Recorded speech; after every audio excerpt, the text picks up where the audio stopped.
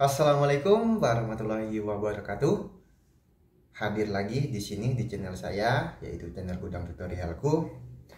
Pada video kali ini saya ingin membahas mengenai penentuan harga ekspor. Nah, kenapa ini saya bahas karena harga ekspor itu merupakan uh, faktor yang sangat berpengaruh dalam pemasaran ekspor kamu, ya. Nah, jadi ada beberapa hal ya yang harus kamu perhatikan ketika menentukan harga ekspor. Nah, itu yang pertama uh, kamu tentukan dulu tujuan ekspornya ke mana ya. Jadi uh, ketika kamu menentukan tujuan harga ekspor itu kamu bisa mencari tahu berapa pengiriman ke negara tersebut.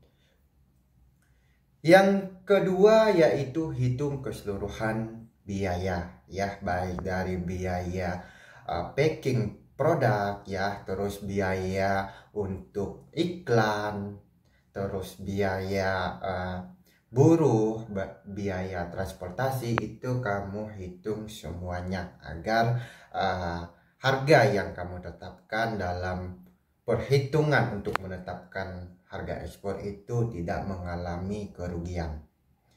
Yang selanjutnya yang ketiga yaitu tentukan harga jual akhir. Nah, jadi ketika kamu sudah menentukan harga jual akhir ya sorry uh, menentukan harga jual akhir jadi kamu itu uh, analisis lagi ya dari keseluruhan biaya yang diperlukan ya baik itu biaya uh, tujuan untuk pengiriman ekspor ya terus uh, biaya buruh biaya transportasi dan sebagainya itu kamu tentukan biaya harga jual akhirnya. Nah terus yang keempat lakukan evaluasi mengenai uh, pesaing ya pesaing dan permintaan. Nah, jadi uh, kamu itu harus menganalisis harga jual pesaing dan harga beli dari uh, permintaan itu kamu analisis. Nah, ketika kamu sudah menentukan uh, harga jual akhir itu kamu analisis lagi apakah harga kamu itu bisa bersaing di pasaran. Nah, terus yang terakhir ya kamu perhitungkan juga biaya-biaya seperti biaya biaya masuk impor.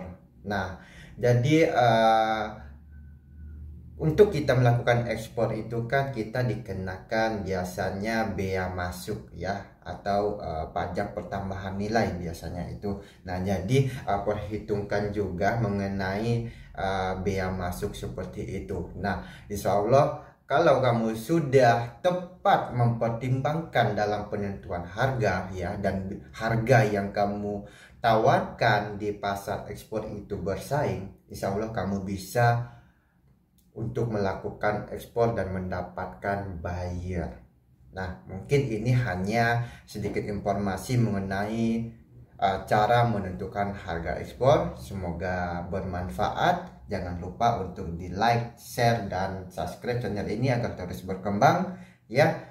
Akhir kata saya akhiri. Assalamualaikum warahmatullahi wabarakatuh